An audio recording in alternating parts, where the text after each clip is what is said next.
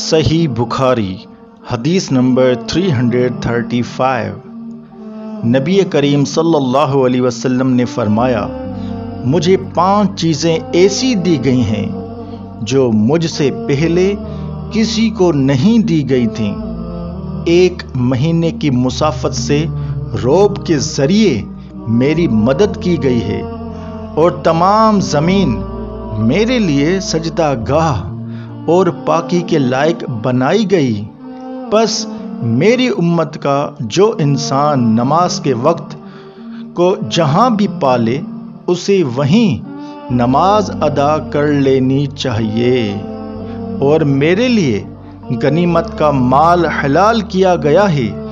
मुझसे पहले ये किसी के लिए भी हलाल ना था और मुझे शफाअत अता की गई।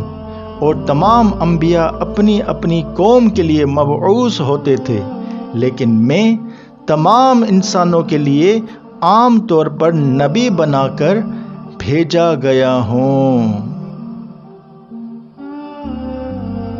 सही बुखारी, हदीस नंबर 336 हज़रत आयशा रज़ी अल्लाह तहा ने हज़रत असमा से हार मांगकर पहन लिया था। वो गुम हो गया। रसूलुल्लाह सल्लल्लाहु अलैहि वसल्लम ने एक आदमी को उसकी तलाश के लिए भेजा, जिसे वो मिल गया। फिर नमाज़ का वक्त आ पहुँचा। लोगों के पास जो हार की तलाश में गए थे, पानी नहीं था। लोगों ने नमाज़ पढ़ ली और रसूलुल्लाह सल्लल्लाहु अलैहि वसल्लम से इसके मुतलिक शिकायत की। बस खुदावन ताला ने तयम की आयत उतारी, जिसे सुनकर उसैद बिन खुजैर ने हज़रत आयशा रदी अल्लाह तहा से कहा, आपको अल्लाह बेहतरीन बदला दे।